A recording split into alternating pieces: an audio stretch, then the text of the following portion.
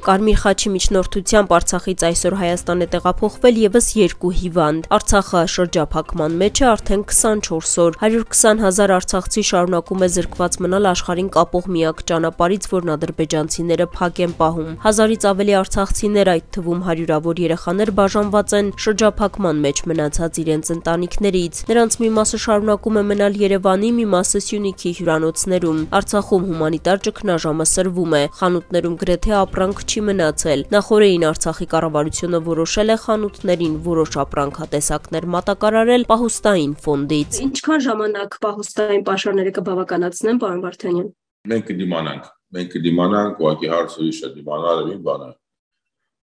Իսկ ուրիշ բան է, որ դու ունես նոմալ կյանք, ունես նոմալ բաժարեն,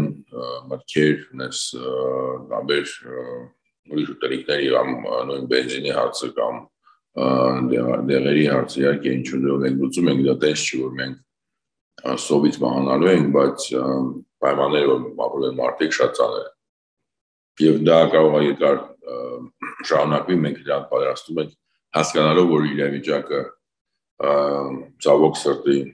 տենց է որ մենք պատրաստիկ պետքա պատրաստ լինենք երկար ժամի որովհետեւ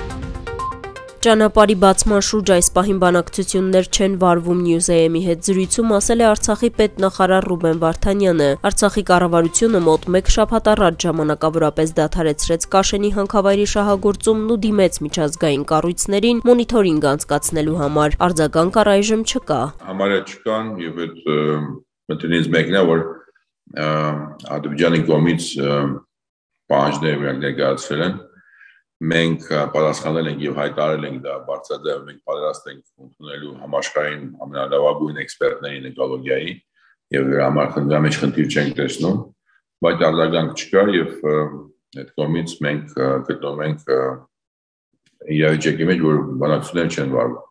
Բացի մոնիթորինգից այլ ուրիշ պահանջ ներկայացնում է Ադրբեջանը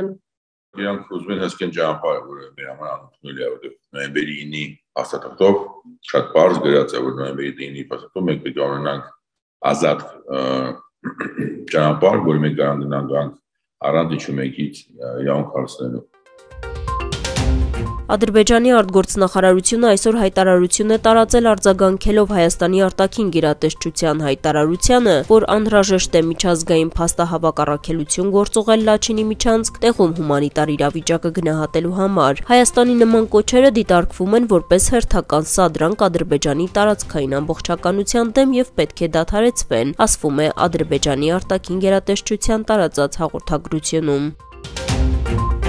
Միացյալ Նահանգները շարունակում է նպաստել ուղիղ երկխոսությանը Ադրբեջանի ու Հայաստանի միջև, հայտարարել է պետդեպարտամենտի պաշտոնական ներկայացուցիչ Նեդ Փրայսը։ Մենք կշարունակենք անել այն, ինչը մեր գնահատմամբ ամենալավ հերանեկարներն ունի Հարավային Կովկասում այդ անվտանգ, կայուն, դեմոկրատական, բարգավաճող ու խաղաղ տարածաշրջանի տեսլականն առաջ մղելու համար, նշել է Փրայսը։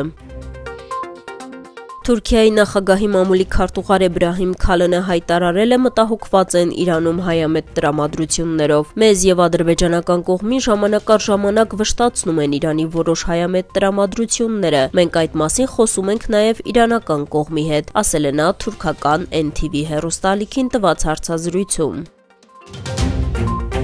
Լոս Անջելեսի նահանգապետարանի առջև հայերը բեռնատարերով ակցիա են իրականացրել ի աջակցություն Արցախի։ Բեռնատարերից մեկի վրա փակցված է եղել մեծ պաստառ, բացեք ճանապարհը հումանիտար ճգնաժամ է գրությամբ։